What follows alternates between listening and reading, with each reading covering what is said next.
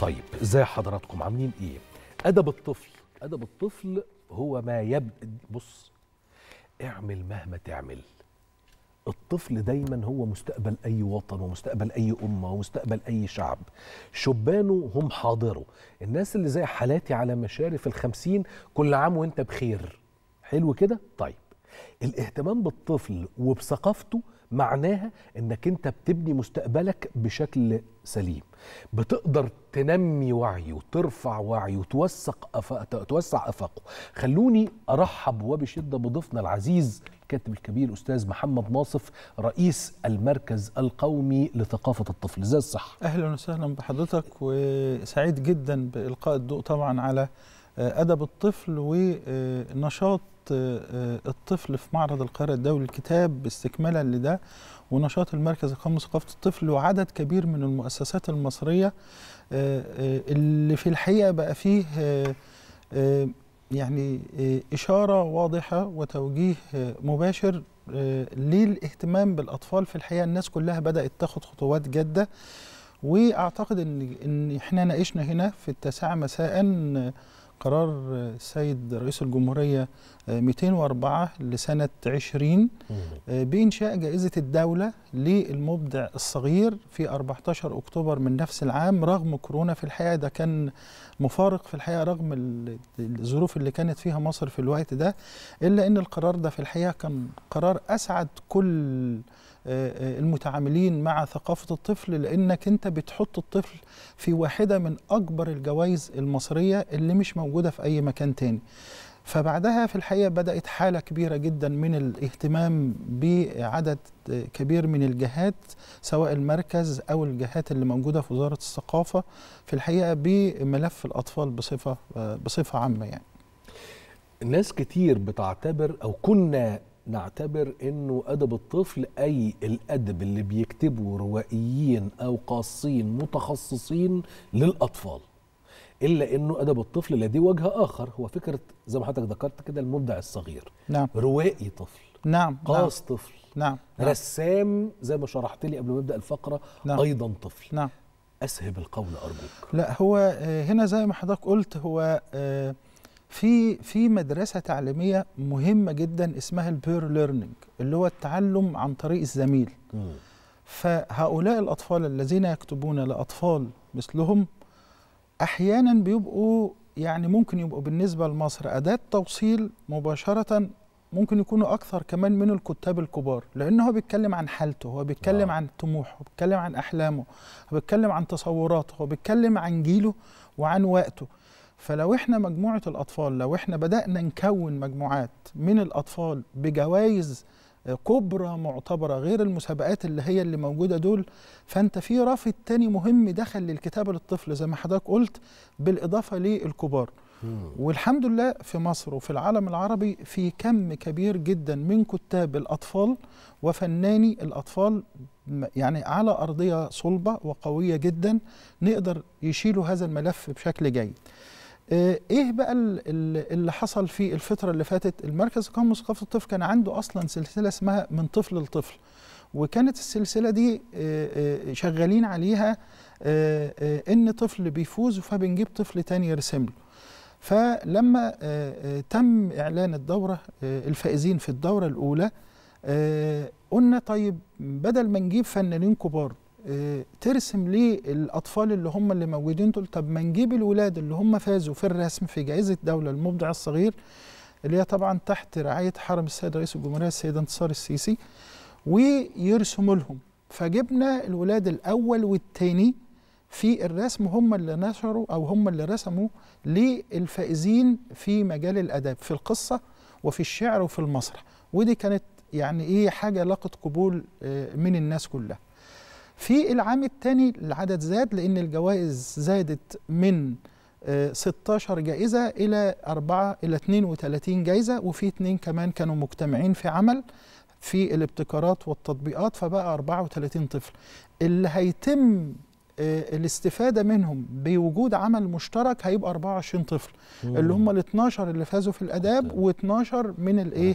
من الرسامين طيب الكتب دي ظهرت أيوه الكتب دي ظهرت وبتباع في صندوق التنمية الثقافية في جناح آه، واحد آه، بأسعار مخفضة وعلى فكرة من الكتب الأكثر مبيعا داخل الإيه؟ داخل القطاع أو داخل صندوق التنمية الثقافية. معالي وزير الثقافة الدكتوره نيفين الكيلاني آه، موصية جدا على الولاد دول بشكل أساسي. فبقوا كتبهم موجودة في المعرض. وهم نفسهم الأولاد عملنا محور وإحنا بنحط آه، آه، محور آه، نشاط برنامج الطفل الدكتور أحمد بهي الدين العساسي طبعا رئيس المعرض. فعرضنا عليه المحاور اللي إحنا هنحطها وكان منها المحور ده اللي هو حفلات التوقيع للأطفال والرسامين الفائزين بجائزة الدولة للمبدع الصغير. وده كنا بنطعم ده في الأيام الأخيرة كمان بحد يغني حد يعزف يعني إيه على آه. أساس برضك يبقى إيه اللي فايزين في الحاجات التانية فبعتوا قالوا لنا طب وإحنا فين فبدأنا بالظبط نجيبهم في الإيه في آه. الحتت اللي هي الأخيرة لأن إحنا كنا بنستفيد منهم في عندنا حاجة اسمها صالون المبدع الصغير وصالون المستقبل الاثنين بيغطوا الفائزين بجائزة الدولة للمبدع الصغير في الحديقة الثقافية بالمركز القومي لثقافة الطفل اذا هذا الطفل اللي هو دلوقتي بيواجه الناس وبيتكلم معاهم وطبعا بنشكر القناة الأولى في صباح الخير يا مصر أول امبارح التقت مع بنتين من الفائزات في الشعر وفي المسرح منهم طفلة من أسيوط ومنهم آه، آه، آه، طفلة من القاهرة لوجين دي شاعرة وسيلينا دي كاتبة آه، مسرح. اذا أنت دلوقتي بتشكل في الوعي وبيبقى معاك الطفل كمان بيشكل في الوعي. وهي دي الفكرة المطروحة إن الطفل يبقى معاك أداة من الأدوات المهمة اللي هو يبقى له دور معاك فاعل يعني ما يبقاش انت بس اللي بتقول له هو بيتلقى لا هو نفسه دلوقتي بيقول معاك. وهي دي الفكرة اللي إحنا كانت مطروحة آه، في المعرض في انشطته السنة دي. كنا زمان وإحنا صغيرين إحنا هنطلع فاصل بس زمان وإحنا صغيرين آه، يعني في مرحلة ما يعني بعد الطفولة كده بشوية في سن المراهقة. كنا آه، نقعد نحسد بتوع الاتحاد السوفيتي واوروبا الشرقية على حجم اهتمامهم بالأطفال. خد بالك الناس دي مش هزار كانت بتهتم بالطفل اهتمام طبعا مذهل طبعا مذهل. نعم. وهبقى أحكي لك عليها بعدين عشان ما ناخدش من وقت الحلقة ولا ناخد من وقت ضيفنا الكريم. استنونا بعد الفاصل. طبعا أنا لا أخفيكم سرا إن أنا خدت هديتي وأنا داخل. أستاذ محمد ادالي رواية بنات بالتيمور وكاتب لي فيها إهداء. ومحدش يحاول ياخدها مني وأنا خارج بس من الآخر. فخلوني أجدد الترحيب مرة تانية بالأستاذ الكاتبنا الأستاذ محمد ناصف رئيس المركز القومي لثقافة الطفل. زدني من الشعر أبيات يا أستاذ محمد لأنه قلت لي كمان إن إحنا اشتغلنا على إنه يبقى في عندنا الحفلة الموسيقية يقوم بها الأطفال ويعزفها الأطفال ويغني فيها الأطفال وكذلك القادرون باختلاف وهكذا. نعم. نعم. هو يعني استكمالا لفكرة إن الطفل نفسه يبقى فاعل داخل آه، آه، معرض القاهره الدولي للكتاب آه، الدكتورة نيفين كيلاني في الحقيقة وزير الثقافة و- وهو بيتحط البرنامج بتاع بلازا واحد واثنين اللي هو المفترض هيبقى فيه فرق للكبار علشان تجذب المعرض يعني زوار المعرض وصت بإن يبقى فيه اهتمام بفرق الأطفال واتكلمت تحديدا كمان على فرق المركز القومي لثقافة الطفل وفرق الأوبرا وفرق الهيئة العامة لقصور الثقافة. فكل يوم هتلاقي فرق من الأطفال دي موجودة وسعيدة جدا. يعني كورال سلام بقياده المايسترو وائل عوض فرقة بنات وبس من ودي فرقة للبنات آه، دراما حركية آه، فرقة آه، كروكي آه، فرقه الأراجوز الفنان ناصر عبد التواب آه، أيضا فرقة ذوي الاحتياجات الخاصة سواء كانت فرقة الشمس أو فرقة طاقة نور أو المجلس ال- الأعلى للإعاقة. آه، كل الناس دي كانوا مساهمين في إن هم بيقدموا آه، برامج للأطفال أو بيقدموا برامج للكبار.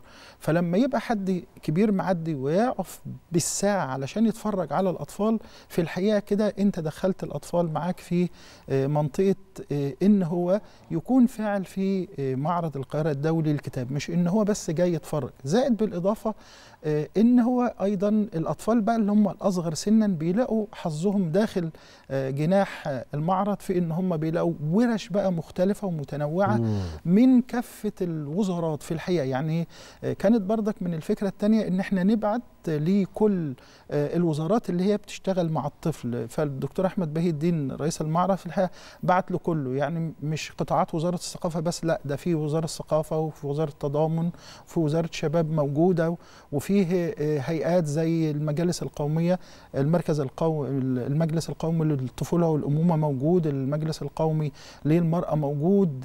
آه، أيضا التربية والتعليم موجودة بزخم داخل داخل ال- ال- ال- المعرض. أيضا بعض المؤسسات الخاصة آه، اللي هي كانت عايزة تشارك رحبنا بها وشاركنا وقلنا بدل ما واحد يعمل مثلا أربع أو خمس فعاليات لا يبقى كفاية عليه اتنين بس يبقى كل الناس تشارك.